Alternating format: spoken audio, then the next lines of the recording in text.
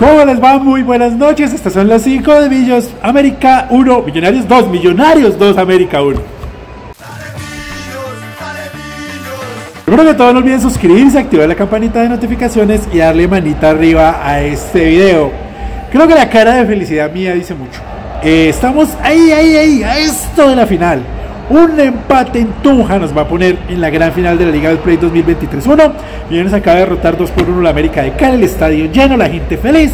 Buenas actuaciones, buenos niveles individuales, algunas cositas por mejorar, como siempre. Y un Millonarios que está cerquita de la final. Eliminamos hoy al América, se eliminó ya el Medellín. Y en Tunja, como algo que hemos predicho acá en las 5 de Millos, que esta vez me salió, a veces no sale lo que uno cree que va a pasar. Eh, y es que el partido de Tunja iba a ser definitivo, iba a ser definitivo. Con el empate, Millonarios va a, ser, va a ser campeón, no, va a llegar a la final para luchar por el campeonato. Hoy, en un partido donde Millonarios no tuvo el ritmo de siempre, manejó los ritmos, se cuidó mucho, creo que está pensando también en parte lo que viene en Brasil, el viaje largo que van a tener, y aceleró, y cada vez que aceleró complicó al América. Por ahí nos descuidamos una vez, nos cobraron, pero menos mal apareció Fernando Uribe, apareció el equipo para remontar rápido en el segundo tiempo, una jugada de gol, un remate de Quintero que el toque la que Suárez la tocó y se fue por arriba. De resto, nada que ver el América de Cali en ataque. El Millonarios ganó, ganó bien. Eh, y estoy feliz porque siento que la final está muy cerquita, está muy cerquita y confío en que este equipo la pueda conseguir. Montero para mí, no he visto la repetición, tiene responsabilidad en el gol. Eh, creo que le regaló mucho el primer palo, quiso anticipar y otra vez le cobraron. Ya le había pasado a Montero. Ginás terminó jugando lesionado con una sobrecarga en el, en el, en el gemelo. Capo Ginás, Juan Pablo Vargas sacó de todo, Dios, como falta nos va a hacer Juan Pablo, sacó de todo, todo lo sacó Juan Pablo Vargas, eh, Arias, vamos a ver qué pasa, ojalá no sea nada grave, Perlaza salvó una ahí eh, que, que, que ha quedado como en un rebote, en un entrevero y Perlaza la sacó, qué bien Perlaza, se le botó un camión hoy Perlaza. Giraldo, el mejor de las finales definitivamente, el más consistente en que todos los partidos está bien. Larry, bien manejando los tiempos. A veces me parece que exageramos en, retener la pelota, lo mismo que Macalister Silva, como en cortar las jugadas, pero me dio la sensación que a la final el equipo quería regular porque sabía que tiene el viaje a Brasil y no quieren romperse, no quieren arriesgar de más. Había que ganar y Millonarios lo hizo. Eh, entonces Macalister Silva también en, ese juego, pero cuando apareció McAllister, apareció Millonarios. Cuando apareció McAllister, tuvimos las jugadas. Eso sí, hay que pegarle de afuera, Maca, hay que pegarle de afuera. Giraldo, Larry, eh, Cataño, todos, hay que pegarle un poquito más de afuera. Paredes no fue el mejor partido de Paredes. Vamos a ver que el golpe ojalá no sea eh, nada grave. Y Beckham falló una oportunidad clarísima de gol y luego le metió un riendazo ese balón, picabarra y el gol de Fernando Uribe. Para mí, Beckham sigue teniendo puntos altos de personalidad que es muy importante.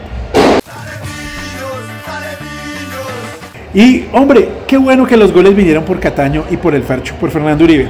Ayer en las 5 de Millos decía que qué bonito sería que Fernando Uribe pudiera hacer un gol frente a la América luego de todo lo que pasó cuando se, cuando, cuando se fue la última vez aquí en el 2021, que erró ese penal, que salió lesionado, toda esa novela, todo lo que pasó, qué bonita revancha para la vida de Fernando Uribe. Eh, eh, hubiera sido que, quisiera gol acá y, nos, y lo hizo.